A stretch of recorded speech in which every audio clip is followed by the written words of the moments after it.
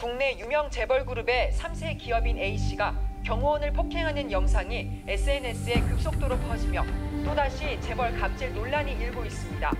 영상 속 A씨는 자신을 몰래 촬영했다는 이유로 경호원 신아. 머리 부분을 넌안 돌아올 생각이구나. 기대하세요. 앞으로 재밌는 일이 벌어질 테니까. 네가 말한 재밌는 일이 겨우 이거냐? 그렇다면 나도 장난 한번 쳐주마.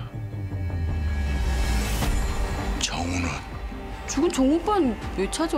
죽은 오빠? 못 가게 해! 나 이거! 정우야! 정우야! 어떠냐? 재밌지? 도리스! 여기 있던 이 흉터! 아, 아빠 더 이런 다. 오빠 죽었잖아. 얘 오빠 아들 신이잖아. 널 속였으니까 더 큰 장난을 쳐야겠다.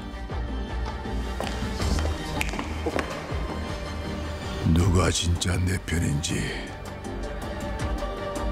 누가 날 배신하는지 테스트하기 위해 아빠 치매 맞아요.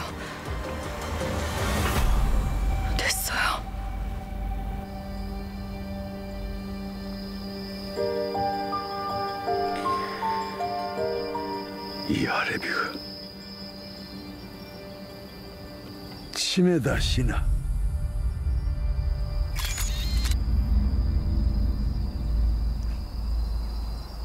치매 아니에요. 할아버진.